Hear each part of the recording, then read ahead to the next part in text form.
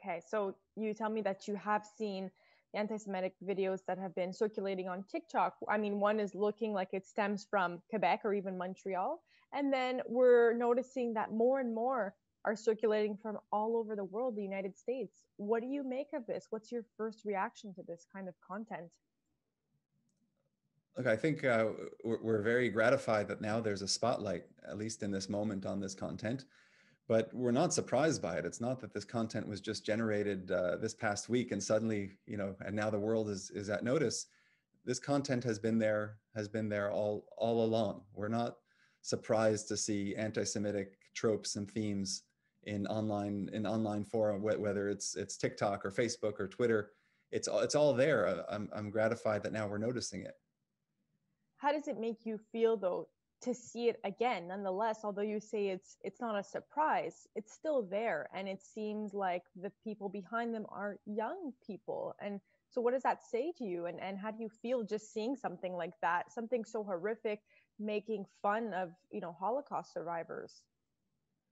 Look there are many things in this world that are simply there and have been there all along and just that we're noticing it right now. This is the phenomenon of living in in, in the 21st century after the 20th century in which anti-Semitism was, was the pandemic of the century, killing millions and millions and millions of people.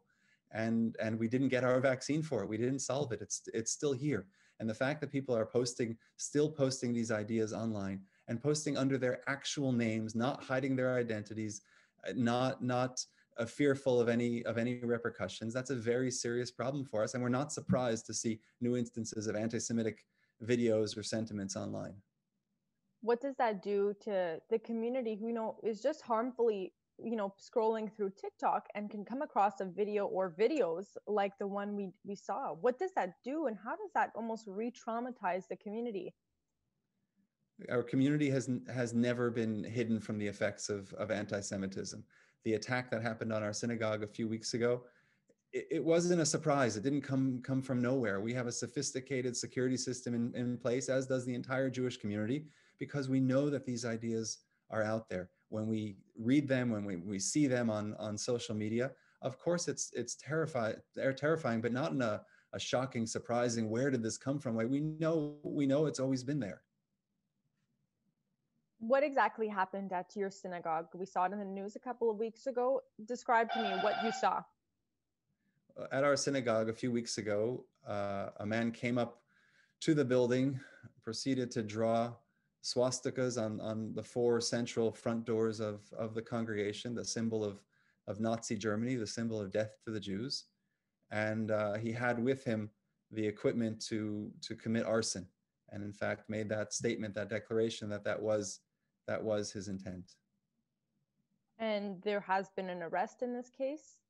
There has been arrest, an arrest. From what we're told, he's still in custody and still undergoing psychiatric evaluations does an incident like this make you think okay this is giving rise to an increase in these type of hate crimes or do you think this is just another day I think it's important that, that we speak out against this. I think it's important that when something like this happens, the whole world says this is this is unacceptable, and it gives us a reason to to look deeper into some of the causes and try to guess and try to try to divine why exactly this person would be drawn to this particular this particular act. You know, we were blessed with a lot of sentiments of solidarity that came from from all over. And with the good with the bad comes the good and sometimes with the good comes the bad. So for example the prime minister tweeted a message of solidarity and and quoted or tagged our congregation and tagged me in that tweet which means that we see all the responses. And in those hundreds and thousands of responses there is so much good but there are also people who are coming out and saying some very very hateful thing and uh, things and they're not afraid to say it not afraid when something bad happens to to almost heap it on and blame the victims and and justify the actions because of some ideas that they have that pertain to to global politics that, that pertain to the role of the jew in the world and it's unacceptable. So where do we go from here? How do we fix this and you know get rid of these ideas that are still around well, it's really important that we're monitoring the online sites, that we're monitoring comment sections on, on local media. That's essential. And that's where much of the hate has, has, has been found in, in Montreal on the local media sites. uh, it's important as well that leaders continue to speak out against this because the role of leaders can't be understated in terms of establishing that this is unacceptable, that anti-Semitism in any form that it comes, whether it's on, on campus, whether it's in a newspaper, whether it's in the comments section, whether it's online and TikTok and social media, wherever it is, it is absolutely unacceptable. And do the, the social media platforms you find uh, have a role in this as well? I mean, it looks like they're trying to police this as much as possible, but you know, how can we do this on such a vast platform? It's a great question. I don't have the solution to that. I don't envy the those who are well, those who are reaping the benefits and the riches of social media. They have the responsibility to to make sure that their platforms are not used to promote hatred and to promote promote violence. That's a very serious accusation. It's a very serious responsibility. With with great achievement comes comes that responsibility. So I, I don't have the answer for them, but just know that it absolutely needs to be addressed what do you say finally to those who are posting these um, racist and insensitive videos, not knowing the magnitude of you know the, what they're talking about?